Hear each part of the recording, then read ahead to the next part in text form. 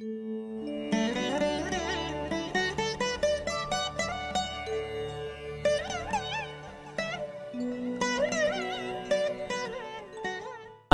பாவகத்தை பத்தி பேசிட்டோம்.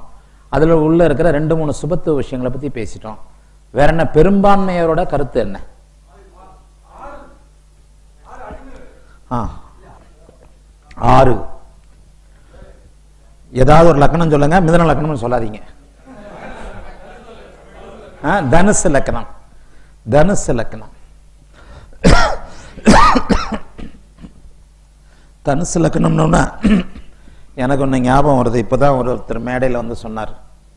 பங்குச்சந்தையில் பதினஞ்சு லட்ச ரூபா விட்டேன்ட்டு.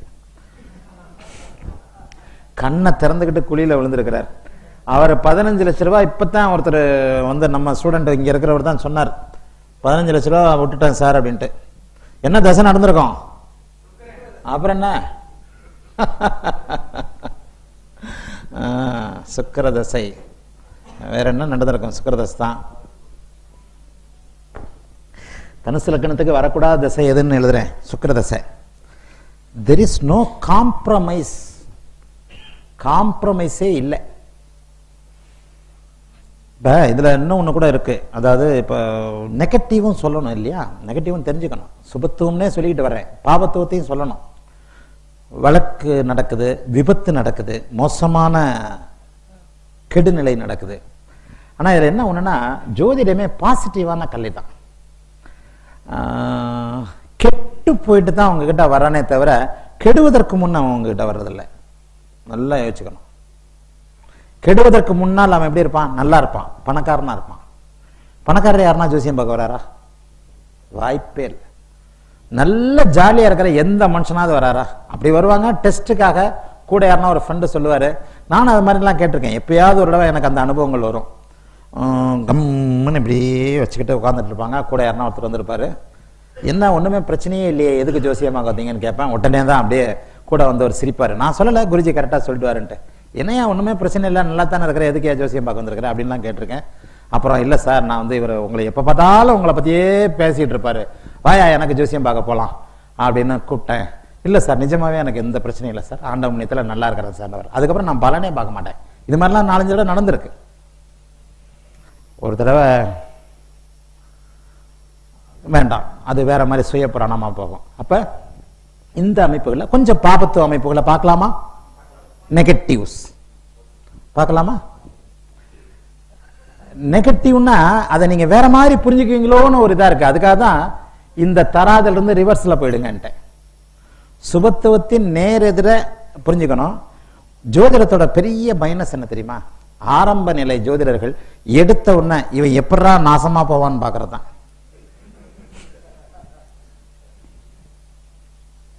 நிஜமா? என் கட்டுரையில எழுதியிருந்தேன்ல என்னுடைய தம்பி மரணத்தை கணிக்கும் போது எனக்கு வந்து இமேஜ் அந்த ஸ்டேஜ் தாண்டி வந்திருக்கிறதுனால உங்களுக்கு உபதேசம் செய்யறதுக்கு தகுதியா இருக்கிறேன் நான். ஆரம்பத்துல என்ன தெரியுமா தோணும்? ஜாதகத்தை பார்த்தவொன்னே இவன் எப்படி நாசமா போவான்? இவன் பொண்டாட்டி யாரு கூட ஓடி போவான் இவனுக்கு எப்படி வேலை கிடைக்காது? இப்படித்தான் போகும். எட்டு தடுப்புல அவனை ஜாதகனோட பிரிச்சவன ஏன்டா இவன்கிட்ட ஜோசியம் கேட்க வந்தோம்னு பண்ணிடுவீங்க? ஒரு ஒரு வழி பண்ணிடுவீங்க. அவ்வளவு அப்படியே தாதா நீ ம் அவ்வளவுதான். உனக்கு புள்ளையே பிறக்காது. உனக்கு கல்யாணமே ஆகாது. உனக்கு வேலையே கிடைக்காது. நீ நாசமா போற. உனக்கு ஒண்ணும் எதுக்கு நீ இந்த பூமியில பிறந்தேனே தெரியாது. பாவ ஜாதகம் பீட ஜாதகம். உனக்கு பரிகாரமே கிடையாது. இப்படி தான் போறதா நிறைய. இப்படித்தான் நல்ல வேலை கம்மியா சொல்லியிருக்கிறார். இப்படிலாம் சொல்றதுதான். தயவு செய்து அது அல்ல ஜோதிடம். ஏன் நெகட்டிவாக சொல்லித்தர தர அது தவறாக போகின்ற ஒரு இதுல இருக்குன்றதுனால தான் ஏன்னா எல்லாருமே ஜோசியத்தை தவறா புரிஞ்சுக்கிட்டீங்க. ஜோதிடம் என்பது ஒரு மனிதனை தன்னம்பிக்கையூட்டி நல்வழிப்படுத்துகிற கலை. கெட்டதை கூட நல்ல வார்த்தையால சொல்லணும்னு சொன்னேன். ரெண்டு வார்த்தைகள் அடிக்கடி சொல்லியிருக்கிறேன். அதாவது ஒன்றும் பதிலே சொல்ல மாட்டேன். என்ன ரொம்ப அழுத்தி கேட்பாங்க. இந்த பரீட்சையில் பாஸ் பண்ணிட்டு வரா அப்படின்னா நான் ஒரு மாதிரியா பதில் சொல்லுவேன். தம்பி இந்த பரீட்சையில் பாஸ் பண்ணிட்டு வரா அப்படின்னா பண்ணிடுவார்னு சொல்லவே மாட்டேன். இது படிப்பாருமா? அது படிப்பாருமான்னு சொல்லுவேன். லைவில் பார்த்தாலே தெரியும். அதே மாதிரி பத்து கேள்வி கேட்டிருப்பாங்க. அந்த பத்து கேள்வியில் ஒம்பது கேள்விக்கு பதில் சொல்லிட்டு ஒரு கேள்வியை பதில் சொல்லியிருக்க மாட்டேன். ஆட்டோமேட்டிக்காக நீயே புரிஞ்சுக்கணும். நான் எந்த கேள்விக்கு பதில் சொல்லியோ அது நடக்காதுன்னு அர்த்தம். ஒன்றும் இல்லை. இவர் இப்போ நான் ஒரு ரெண்டு வார்த்தைகளை சொல்கிறேன் இவர் தோல்வி அடைவார் இவர் வெற்றி வாய்ப்பை இழப்பார். ரெண்டும் ஒண்ணுதான். ஆனா தோல்வி அடைவார்னு சொல்றதை விட அந்தற்குள்ள வெற்றின்ற ஒரு வார்த்தையை வச்சு அதே அர்த்தத்தை சொல்ல முடியுதுல Tamil is a classical language English மாதிரி முட்டாள்தனமான மொழி இல்லை. இந்தி மாதிரி ஒண்ணும் இல்லாத மொழியும் இல்லை. கிளாசிக்கல் லாங்குவேஜ் இந்த தமிழ்ல அழகா வார்த்தையில விளையாடலாம். ஒரு ஜோதிடன் கண்டிப்பா புலவனாக இருக்க வேண்டியது அவசியம் தான் சின்னராஜ் ஐயா மாதிரி. டப டப டப டபன்னு எதனா ஒண்ணு பேசுற மாதிரி பேசிடலாம். ஆக இந்த அமைப்புல ஒரு நெகட்டிவை கூட எதிர்கால ஜோதிடர்களாகிய நீங்கள் பாசிட்டிவான வார்த்தைகள்ல சொல்லணும். ஒருவன் தோல்வி அடைவதை கூட அவன் வெற்றியை இழப்பான்னு நீங்க சொல்லணும். அதான் ஜோசியம். தோத்து போவான்னு நேரடியா சொல்றதை விட சக்சஸ் கிடைக்காது வெற்றி கிடைக்காது. ஏன் தோல்வி அடைவார்னு சொல்லணும்? அந்த பக்குவம் எப்போது உங்களுக்கு வருகிறதோ அப்ப ஜோதிடத்தோட இன்னொரு பரிமாணம் தெரியும்.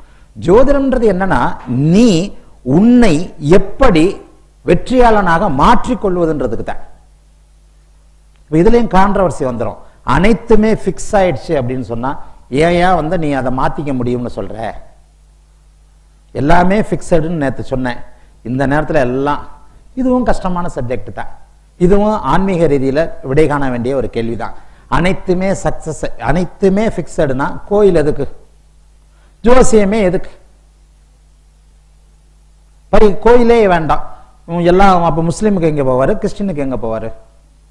அப்போ கிரகங்களுக்கு எதற்கு? வாகனம் கல் கல்லு கிரகம் சுவை குணம் உலோகம் இதெல்லாம் சொல்லப்பட்டது. அது வேற சப்ஜெக்ட் இன்னொரு இதுல பார்த்துக்குவோம். இந்த அமைப்பின்படி இப்போ நான் பா நெகட்டிவாக சொன்னால் கூட நீங்கள் அதை பாசிட்டிவாக தான் புரிஞ்சுக்கணும். ஹவு டு ப்ரெசன்ட்ன்றது மிக மிக முக்கியமான ஒன்று இப்போ இந்த மேடையில் வேற வேலை வெட்டியை விட்டுட்டு சாப்பாடு இல்லாமல் இது இல்லாமல் ஏதோ ஒரு ஒரு மணி நேரம் நேத்து ஃபுல்லா வந்துரு நேற்று நேற்று போனவங்க எல்லாம் வந்துட்டாங்களா? சிவகுமார்ஜி. நேற்று நேற்று கிளாஸுக்கு வந்தவங்க இன்னைக்கு வந்திருக்கிறாங்களா இல்லை ஒரு வந்திருக்கிறாங்க. அப்போ வந்திருக்கிறீங்கன்னா ஏதோ நான் நடத்துறது கரெக்டு தான் நினைக்கிறேன். ஆக வேலை வெட்டிலாம் விட்டுட்டு இன்னைக்கு ஞாயிற்றுக்கிழமையாக இருந்தாலும் ஏதோ ஒன்றுக்காக வந்திருக்கிறீங்க அப்படின்னு சொன்னா இதை நான் ஹவு டு ப்ரெசன்ட்ன்றதுனால தான். எப்படி வெளிப்படுத்துவது? ஜோதிடத்துல அது ரொம்ப முக்கியம். எப்படி வெளிப்படுத்துவது? எப்படி சொல்வது? நீ நாசமா போவ. அந்த வார்த்தை என்னைக்குமே வரக்கூடாது. இது பாவ ஜாதகம். இது பீட ஜாதகம். இந்த இப்போ ஒரு பெரியவர் சொன்னார். என்ன சொன்னாரு? நீ பிறந்ததே தப்பு. என்னமோ அவர் பிறந்தது மட்டும். அவன். அந்த ஜோசியர் மட்டும் ஒரு உன்னத பிறவியா என்ன? ஜோதிடர்கள்ல தொண்ணூறு சதவிகிதம் பேர் ஏழையாக இருப்பதற்கும் இதா இருக்கிறதுக்கும் அதான் காரணம். ஏன்னா நான் இன்னொன்று சொல்லியிருக்கிறேன். ஒரு கடந்த கால வகுப்புகளில் சொல்லுவேன். நூறு ரூபாய் தட்சணை எனக்கு கொடுக்குறியே உங்ககிட்ட இருக்கிற நூறு ரூபாயை வாங்கிட்டு நீ கோடீஸ்வரனா இருப்பேன்னு நான் சொல்லணுமா? அப்படிங்கிற எண்ணம் மற்றும் என்றைக்குமே ஒரு ஜோதிடனுக்கு வந்து விடக்கூடாது. ஒரு ஜோதிடன் தன்னுடைய அடி வயிறுல இருந்து மனதார வாழ்த்தணும். நீ நல்லா இருப்ப. உண்மையாக வாழ்த்தணும். பெரிய கொடி சொன்னா இருப்பியா நிச்சயமாக அது பலிக்கும். நிச்சயமாக அது பலிக்கும். எப்போது நீங்கள் எதிரியை கூட எங்க குடும்பத்துக்கே ஆகாத ஒருத்தர் எங்கிட்ட ஜோசியம் பார்க்க வந்தார். எங்க குடும்பம் எல்லா குடும்பங்களையும் போல எங்க குடும்பங்களையும் ஒரு பெரிய வீக்னஸ் இருக்கு. பங்காளி தகராறு அந்த தகராறு இந்த தகராறுலாம் இருக்கு. மிகுந்த தயக்கத்துல எங்க தாத்தா காலத்திலிருந்து ஜன்ம ஜென்ம விரோதியான ஒரு குடும்பம் என்கிட்ட ஜாத- ஜாதகம் பார்க்க வந்தது. அதே தான் அதை விட கொடுமைன்னு கூட சொல்லலாம். அவங்கள அதெல்லாம் நாங்கள் வெட்டு குத்து கேஸ் இன்னும் கோயில் தகராறு இன்னும் கேஸில் இருக்குது நாற்பது ஐம்பது வருஷமா. நான் என்ன சொல்லியிருப்பீங்கன்னு நினைக்கிறீங்க? வெளியில் போய் அவர் தான் என்ன கொள்கை பிறப்பு செயலாளராக இருக்கிறார் எனக்கு. சே என்கிட்ட அவர் சொன்னது குழந்தை இல்லைன்னு வந்தார். இந்த மாதம் இங்கே போ. இந்த மாதம் இங்கே இதில். உனக்கு பெண் குழந்தை. சொன்ன மாதத்தில் குழந்தை வருது சொன்ன மாதத்தில் குழந்தை. கிட்டத்தட்ட ஒரு பதினஞ்சு பத்தொன்பது வருஷமா குழந்தை இல்லை. பேசக்கூட இல்லை அவரு. கம்முன்னு வந்தாரு உக்காந்தார். உள்ள வந்தது ஷாக்கு தான். இன்னார் வந்திருக்கிறாங்க. நம்ம ஒன்றும் வெளியில போகணும்னு சொல்ல முடியாது. எங்க ரெண்டு குடும்பத்துக்கும் பேச முடியாத அளவுக்கு ஜென்ம பகை. ஜாதகம் என்ன விஷயம்? நானும் கொஞ்சம் ஒரு மாதிரி பதற்றமான மனநிலை தான் ஜோசியை பார்த்தேன். குழந்தை தான். அவருக்கு குழந்தையில இருந்தா நமக்கு தெரியுமே. சொந்தக்காரர் தானே?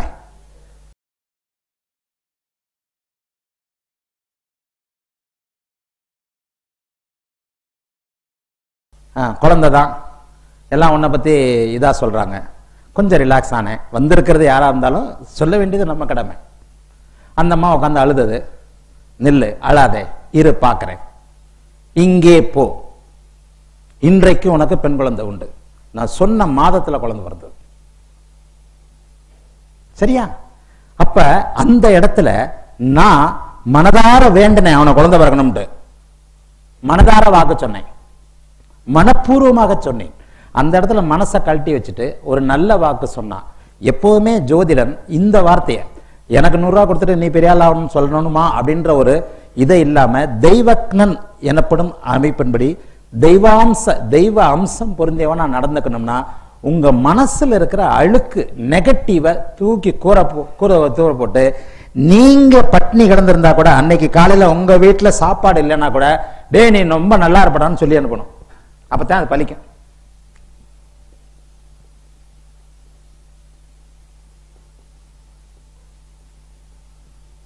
இப்ப தனுசு லக்கணத்தை எடுத்துக்கணும் எடுத்துக்கிட்டோம். இப்ப இதுல ரெண்டு நிலைகள்ல அவர் ஆட்சி ஆவார். ரெண்டு நிலைகள்ல அவர் தன்னுடைய வீட்டையே பார்ப்பார். ஆறாம் ஆறாம் அதிபதியை பத்தி பேசிக்கிட்டு இருக்கிறோம் ஆறாம் பாவகத்தை பற்றி பேசிக்கொண்டிருக்கிறோம். அப்ப ஆறாம் பாவகம் நான் இதை வந்து தனுசு லக்கணத்திற்கு வரக்கூடாத தசை எது அப்படின்ற போது சுக்கர தசை. இப்போ ஒரு நே ஒரு நம்மக்கிட்ட இருக்கிற ஒரு மாணவர் என்ன சொல்லிட்டாருன்னா ஒன்றரை லட்ச ரூபா போச்சு ஒன்றரை லட்சமா பாஞ்சு பதினஞ்சு லட்ச ரூபா போச்சு. பதினஞ்சு லட்சம் தானே? பதினாலு. பரவாயில்ல கம்மி தான் சுக்கிரனுக்கு கம்மி தான் சுக்கரன் கோடிக்கணக்கில் கொடுப்பார் கோடிக்கணக்கில் அழிப்பார். ஏதோ உங்களை பாம்பத்தை விட்டார். லக்னா எங்க? லக்னாதிபதி எங்க? ஏழில் இருக்கிறார். ரெண்டுல. ஆக இந்த அமைப்புல ஆறாம் பாவகத்தோடு தனுசு லக்னத்திற்கு ஆறாம் பாவகாதிபதியான சுக்கிரன் எப்படி தொடர்பு கொள்வார் அப்படின்னு வச்சுக்கிட்டோம்னா இந்த நாலு நிலைகள்ல தொடர்பு கொள்வார்.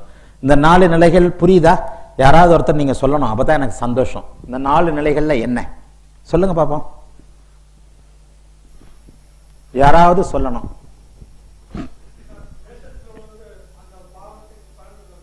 வெரி குட் சரியான வார்த்தை.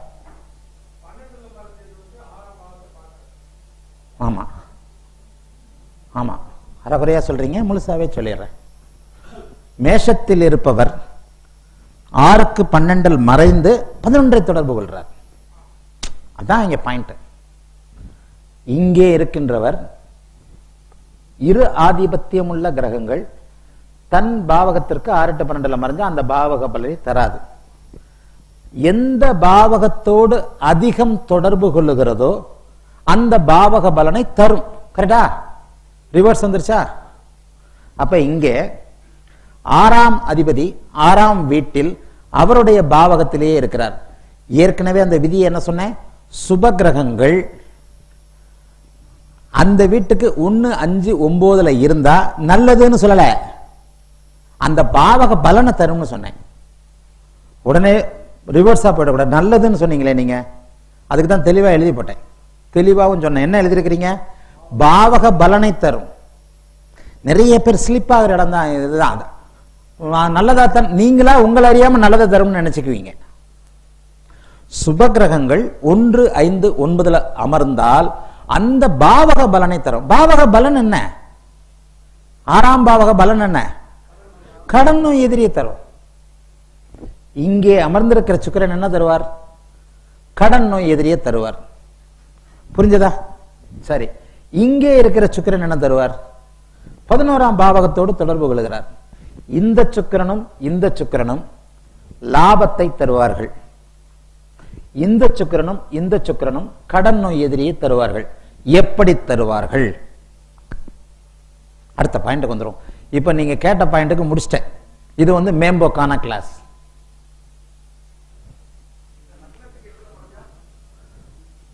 அப்புறம் பார்ப்போமா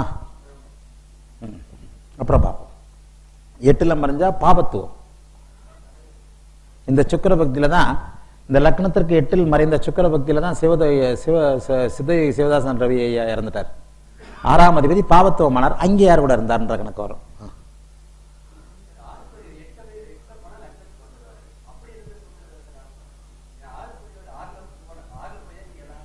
ஆறு எட்டு பாபத்துவமா சுபத்துவமா?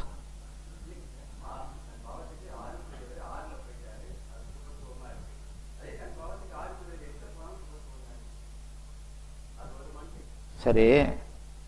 இதுக்கு முன்னாடி இங்கே ஒன்று எழுதி போட்டேன் அது என்ன பண்ணீங்க? அதை வாசிங்க திரும்ப எனக்கு. ஆ? மூணு பதினொன்னு. அப்போ ஆறாம் அதிபதி எட்டாம் வீட்டுல இருந்தா எந்த நிலைமைக்கு வர்றாரு? ஆ? அந்த மூணு பதினொன்னு எழுதுனீங்களா இல்லையா?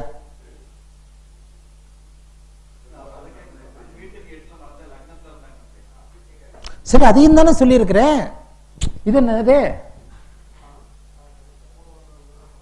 அவர் அப்படி கேட்கல ஆறாம் அதிபதி எட்டுல மறைஞ்சா என்னன்னு கேக்குறாரு.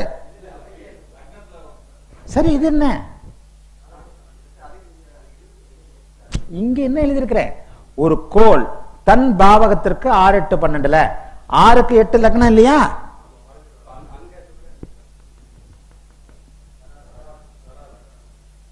தன் பாவக பலனை தராது. நான் என்ன சொல்ல வரேன்? நீங்க உட்காருங்க நான் சொல்றேன். பாருங்க. ஆறுக்குடையவர் எட்டில் இருந்தால் என்ன பலன்னாலும் நீங்கள் மாத்துறீங்க. நீங்கள் கேட்டது ஆறுக்குடையவர் எட்டில் இருந்தால் என்ன பலன்ட்டு. அதற்கு மூன்று பதினொன்றாம் இடத்தை எழுதி போட்டேன். எந்த ஒரு விஷயத்தையும் அறகுறையாக சொல்லிக் கொடுக்குறவன் இல்லைன்னா இந்த பாருங்க. நாலு ஏழு பத்தில் பாவகிரகங்கள் இருந்தால் கேந்திரங்களில் தன் பாவக பலனை செய்யும். ஐந்து ஒன்று ஐந்து ஒம்போதில் சுபகிரகங்கள் இருந்தால் தன் பாவக பலனை செய்யும். அதே கிரகங்கள் மூன்று பதினொன்றில் இருந்தால் ஆறு குடையவன் எட்டில் இருந்தா ஆறு குடையவன் நாலில் இருந்தா. மூன்று பதினொன்றாம் இடங்கள்ல இருக்கும்போது அதிகம் நல்ல பலனையும் குறைவான சம பலனையும் செய்யும். இதான் இல்லையா? சரி ஆறு எட்டுக்கு பன்னெண்டுல மறையும் போது இங்க லக்னம் வந்துருது. சரி இப்ப சப்ஜெக்ட் மாறுது. இருந்தாலும் ஆறு எட்டுக்குள்ளேயே வர்றதுனால சொல்றேன். சரி ஒவ்வொரு கிரகத்திற்கும் ஒவ்வொரு நிலை இருக்கு. சுக்கிரன் ஆஹ், இப்ப இந்த சுக்கிரன் ஆறக்குடையவராகி அவர் எட்டாம் வீட்டுல இருக்கும்போது யார் வீட்டுல இருப்பார்? அந்த வீடு நல்லதா கெட்டதா? கெட்டா வந்துருச்சா? சரி. இதே மிதுன லக்னமாக கொள்வோம்.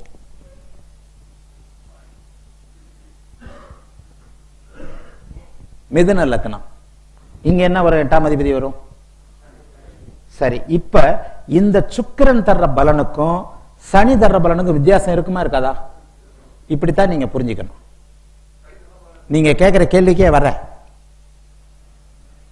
புரியுதா இல்லையா? புரியலன்னா நான் இன்னும் கொஞ்சம் எளிமையா சொல்றேன். இப்ப நீங்க கேட்ட கேள்வி ஆறாம் அதிபதி எட்டுல இருந்தா என்ன நடக்கும்? இப்ப ஆறு எட்டு பன்னெண்டுல மறைஞ்சா எட்டுலன்னா லக்னத்துல தானே கேக்குறீங்க? அப்ப தன்னுடைய அந்த பாவக பலனை தராதுன்னு சொல்லிட்டேன்.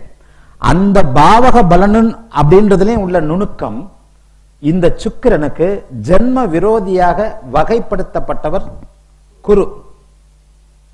சரி இங்கேயே மூலம் பூராடம் உத்திராடம்.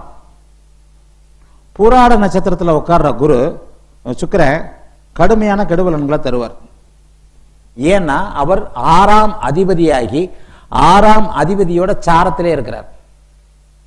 சரியா? சுக்கரன் ராகு சேர்ந்தாரு. தாம்பத்திய சுகத்தை கொடுக்க மாட்டார். காரகத்தியத்தையும் ஆதிபத்தியத்தையும் கொடுக்க மாட்டார். ஆறுக்கு எட்டுல மறைஞ்சு கடனே வாங்க முடியாத ஒரு என் ஃப்ரெண்டு ஒருத்தர் அவர் இந்த சுக்கிரன் ராகு சேர்க்க. சின்ன வயசு ஃப்ரெண்டு கல்யாணம் என்ன ஆகல. 52 ரெண்டு வயசாச்சு. தனுசு லக்கணம். சுக்கரன் ராகு சேர்க்கை. இப்ப சுக்கிர தசை என்னமோ ஆரம்பிச்சு ராகு தசை ஆரம்பிச்சிருச்சு இப்போ. தனுசு லக்னம் கடன்னாலே பிடிக்காது. கடனே வாங்க மாட்டார். கடன் வாங்குறதே பிடிக்காது. உள்ளுக்குள்ளேயே அதாவது அவருடைய இதுக்குள்ளேயே இன்னொன்று சைக்கிள் கூட ஓட்ட தெரியாது. சுக்கரன் யாருது வாகனம் வீடு. வாகன காரகன் அவர்தான். சைக்கிளே ஓட்ட தெரியாது அவருக்கு. 52 ரெண்டு வயசாச்சு என்னுடைய நண்பர். சைக்கிளே ஓட்ட தெரியாது. இது வரைக்கும் கல்யாணம் ஆகலை. வசதிகள்லாம் இருக்கு. கல்யாணம் பண்ணுறதுக்கு எத்தனையோ முயற்சிகள் செஞ்சு நடக்கலை. சுக்கரன் ராகு மூணு டிகிரியில மா- இது. காரகம் ஆதிபத்தியம். கடன் வாங்குறதையும் வெறுத்துட்டார். கடனே வாங்க மாட்டார். கடன் வாங்கக்கூடிய நிலைமையிலையும் இல்லை. ஒரு இருபத்தஞ்சாயிரம் சம்பளம் வாங்குறாரு அந்த இருபத்தஞ்சாயிரம் சம்பளத்துக்குள்ளேயே வண்டியை ஓட்டுறாரு. ஆறுக்கு எட்டுல மறைஞ்சதுனால கடனற்ற நிலைமையை கொடுத்துட்டாரா? காரகத்தையும் வண்டி வாகன சுகத்தையும் இது பண்ணிட்டாரா? சைக்கிளே ஓட்ட தெரியாதுன்ற போது அவர் எந்த வாகனம் வாங்க போறார்?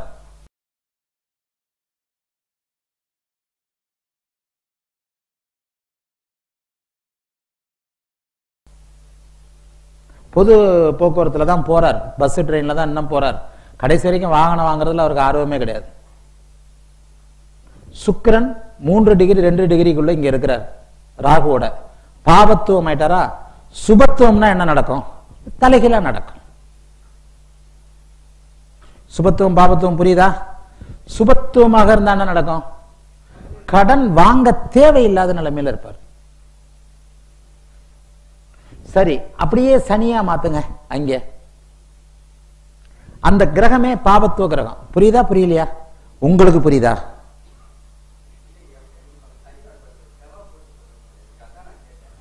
சரி.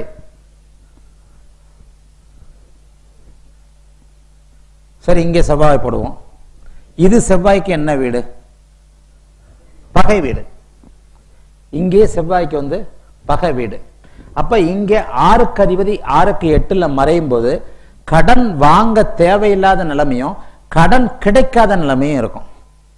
கடன் வாங்க தேவையில்லாத நிலைமையா கடன் கிடைக்காத நிலைமையான்றது ஐந்தாம் அதிபதியை பொறுத்தது.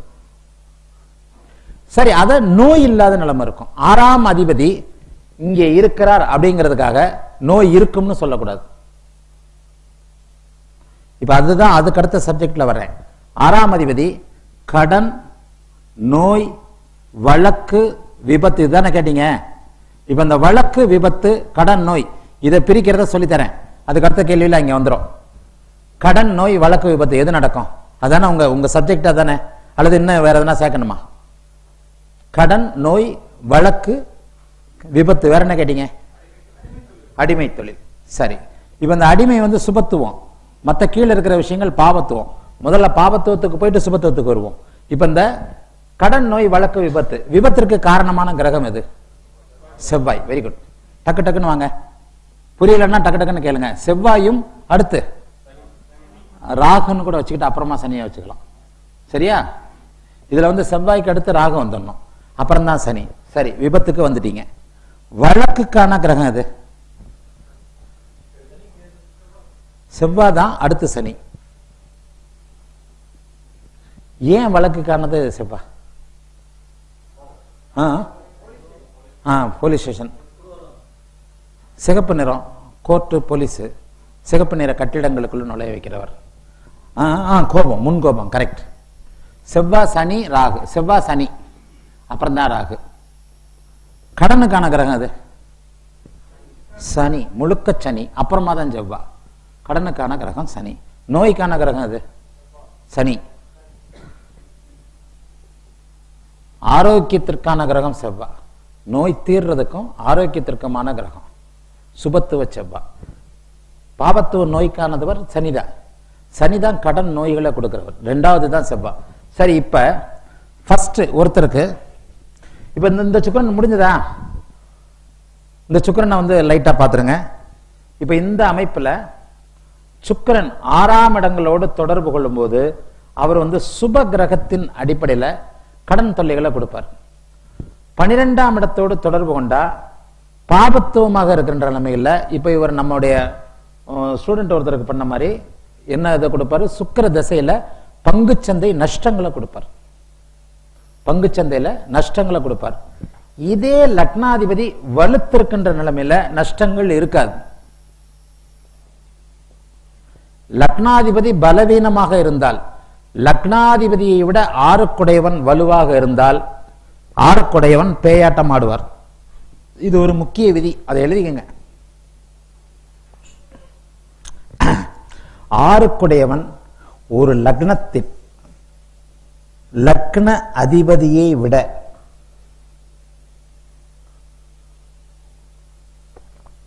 ஆறு எட்டுக்குடையவர்கள் வலுப்பெறக்கூடாது. சுருக்கமா லக்னாதிபதியை விட ஒரு யோக ஜாதகத்தில் ஆறு எட்டுக்குடையவர்கள் வலுவிழந்து இருப்பார்கள்.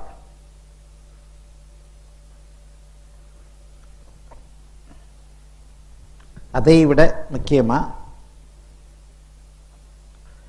லக்னாதிபதி வலுவாகி ஆறாம் அதிபதி பலவீனமாகி தசை நடத்தும் நேரங்களில் கடன் இருந்தாலும் தீர்க்கப்படும். நோய் இருந்தாலும் தீரும். ஆறாம் அதிபதி தரும் தன்னுடைய கடன் நோய் வழக்கு விபத்து காரகத்துவங்களை லக்னாதிபதி தனது பலத்தால் சமாளித்து வெற்றி கொள்வார். இது புரியுதா? ஆறு எட்டாம் பாவங்கள்ல இது ரொம்ப முக்கியம். சரி ஆறு எட்டு கடன் வருமா வராதா? லக்னாதிபதி வலுவிழந்திருந்தா கடன் வரும். சரி லக்னாதிபதி வலுவாக இருக்கிற பட்சத்துல ஆறு தசையின் அடிப்படையில் காரகத்துவங்களின் அடிப்படையில் ஆதிபத்தியங்களின் அடிப்படையில் ஆறாம் அதிபதி கடன் நோய் வழக்கு விபத்தை கொடுக்கும் பொழுது லக்னாதிபதியின் வலுவை வைத்து அது சமாளிக்கப்படும். லக்னாதிபதி வலுவாக இருக்கின்ற நிலைமையில் தசாபக்திகள் சாதகமற்ற வகையில இருந்தா கூட பெரிய கஷ்டங்கள் வந்துடாது சிலர் விபத்திலிருந்து தப்பிச்சு வர்றது இப்படித்தான். சரி விபத்து எந்த அளவுக்கு நடக்கும்? ஆறாம் அதிபதியுடைய பாப காரகத்துவத்தையும் லக்னாதிபதியின் சுபத்துவத்தையும் பொறுத்தது அது. இப்ப இங்க வந்து சுக்கிரன் ஆறாம் இடத்திலேயே இருக்கிறார் அப்படின்னு வச்சுக்குவோம். அவர் சுக்கிரன் ஆறாம் இடத்திலே இருக்கிறார்னா சுக்கிரனுக்கு வேறு எந்த விதமான பலவீன அமைப்புகளும் இல்லாத நிலைமையில அந்த ஜாதகர் ஆறாம் இடத்துல இருக்கிற ஜா இது வந்த உடனே பாவத்துவமா இருந்தா வந்த உடனே வேலையை போக்குவார். பாவத்துவமாக இருந்தா வந்த உடனே இப்ப அம்சத்துல அப்படியே நீச்சம்னு கொண்டு வந்துருவோம். அம்சத்தில் நீச்சம்னா நீச்சம் என்பது ஒரு வகையில் பாவத்துவம் தான். புரிஞ்சுக்கிட்டீங்களா? அவர் சுக்கரனா காரக வேலைகளை செய்வார். சுக்கரனா காரக வேலைகளை செய்வார். அம்சத்தில் நீச்சமாகிவிட்டால் ஆதிபத்திய வேலையில் பாவத்துவ விஷயங்களை செய்வார். இதையும் எழுதிக்கங்க. இதை முக்கியமா எழுதிக்கங்க. ஒரு கிரகம் சுபராக இருப்பினும் ஒரு கிரகம் சுபராக இருப்பினும் பாபத்துவம் அடைந்திருக்கும் நிலையில் காரகத்துவங்களையும் தந்து ஆதிபத்திய கெடுபலனை தரும். உதாரணமாக சுக்கிரன் ராசியில் ஆட்சியாகி அம்சத்தில் நீச்சமாக இருப்பின் அவர் ஆதிபத்திய ரீதியில் பாபத்துவமாக இருப்பதாக பொருள்.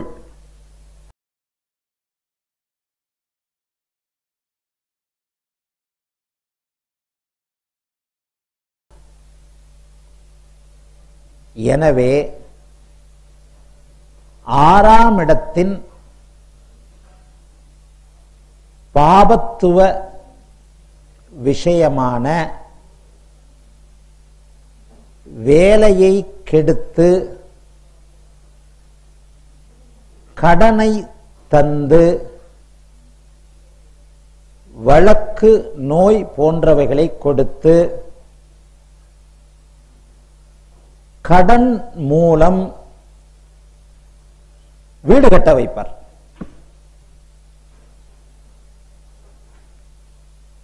கடன் மூலம் வீடு கட்ட வைப்பார். இப்ப இந்த கடன் மூலம் வீடு கட்ட வைப்பார்ன்ற வார்த்தை புரியுதா? வீடு அவருடைய காரகம். ஆறு அவருடைய ஆதிபத்தியம். அப்ப வீடு கடன் மூலம் கல்யாணம் பண்ண வைப்பார். கடனால் மனைவிக்கு நகை வாங்க வைப்பார். மனைவியால் கடன் ஏற்பட வைப்பார். பெண்ணால் கடன் ஏற்பட வைப்பார். சரி அதே சுக்கிரன் வேற ஒரு சனியோட சேர்ந்துட்டார். நீச்ச பெண்ணால். தன்னை விட வயது மூத்த பெண். இன்னொருத்தன் பொண்டாட்டி. சுக்கிரன் வந்துட்டீங்கனால இங்க வில்லங்க வந்துரும். அம்சத்துல நீச்ச அம்சத்துல ராகுவோட சேர்ந்திருக்கிறார். பாவத்துவம் கூடுதலாக இருக்கிறது. ஒரு வேற்று வேற்று மதத்து பெண் ஒரு விதவை பெண் இப்படி எல்லாம் போகும். அப்படியே உள்ள உள்ள லிங்க்ல போய்கிட்டு இருக்கிறது தான். அப்ப என்ன நடக்கும்? ஆஹ் ஆதிபத்திய விஷயங்கள்ல கடனை கொடுத்து ஆதிபத்தியம் ஆறாம் இடத்து. எதனால கொடுப்பார்? காரக விஷயங்கள்ல கொடுப்பார். சுகனுடைய முக்கியமான காரகம் என்ன? பெண் சுகம். முக்கிய காரகம் பெண் சுகம் தான் உயிர் காரகத்துவம் எடுத்துக்கிட்டீங்கன்னா பெண். அந்த பெண்ணை வந்து நேரடியான சுகம் தரக்கூடிய பெண்ணு தான் அதாவது சுக்கிரன் அக்கா தங்கச்சியை விட காதலி மனைவிக்கு சொந்தமான கிரகம். நான் சொல்றது புரியுதா? சுக்கிரன் வந்து காதலி மனைவிக்கு சொந்தமான கிரகம். அக்கா தங்கச்சியும் பெண்ணு தான் அம்மாவும் பெண்ணு தான் காதலி மனைவியும் பெண்ணு தான் வித்தியாசம் இருக்கு இல்லையா? இதுல சுக்கிரன் தன்னை சுற்றியுள்ள பெண்களை நல்லா பாருன்னு சொல்லுவேன். அப்ப அந்த தன்னை சுற்றியுள்ள பெண்கள்ல தான் தன்னோடு தாம்பத்திய உறவு கொள்ளக்கூடிய சுகத்தை தரக்கூடிய பெண் எவளோ அவள் நன்றாக வைப்பார். அப்ப அந்த சுக்கிரன் ஆறாம் இடத்தோடு ஆதிபத்திய ரீதியில பாபத்துவமாகி தொடர்பு கொள்ளும் போது பாபத்துவம்னா என்ன? செவ்வாய் கூட சேருதல். அந்த செவ்வாய் அந்த லக்னத்திற்கு எந்த காரகம் எந்த ஆதிபத்தியம் அப்படிங்கிறத பொறுத்து பலன் மாறும். சனியோடு சேரும் பட்சத்துல அந்த செவ்வாய் சனி ராகு எந்த நிலைமையில் இருக்கிறார்கள்? அங்கே சுக்கிரன் இருக்கிறார். அங்கே சனி ராகு நீச்சமாகவோ அதிக பாபத்துவமாகவோ அது கூடும் இடம் பகை வீடாகவோ கூடும் இடம் நல்ல வீடாகவோ இருக்கின்ற அமைப்புகளுக்கு ஏற்ப அந்த சுக்கிரன் அந்த விதமான பெண்ணை அறிமுகப்படுத்தி அல்லது அந்த விதமான வீட்டை கொடுத்து கடன்ல சிக்க வைப்பார். புரியுதா? அல்லது எதனா சந்தேகம் இருக்கா? ஆதிபத்தியம் கண்டிப்பாக கிடைக்கும். அந்த ஆதிபத்தியம் கடன். சரி இப்ப கடனுக்கு வந்துடும் இப்போ எதிரி அதாவது துணை அமைப்புகள்னு அடிக்கடி பேசுவேன். யோகம் என்பது துணை அமைப்புகள்னு பேசுவேன். கடன் நோய் எதிரி இருக்கு. இப்போ வந்து கடனுக்கு சனி நோய்க்கு சனின்னு சொல்லிட்டோம். இப்ப இந்த கடன் நோய்க்கு அந்த ஜாதகத்துல சனி எப்படி இருக்கிறார்? இப்போ வந்து நிறைய மேடைகளில் சொல்லியிருக்கிறேன் அந்த கஜகேசரி யோகத்தை பற்றி அது இங்கே கூட ஒரு பத்து பாஞ்சு பேருக்கு தெரியும். எதிரிக்கு வரணும்னா இந்த கஜகேசரி யோகத்துக்கு வந்துடணும்னு சொல்லியிருக்கிறேன்.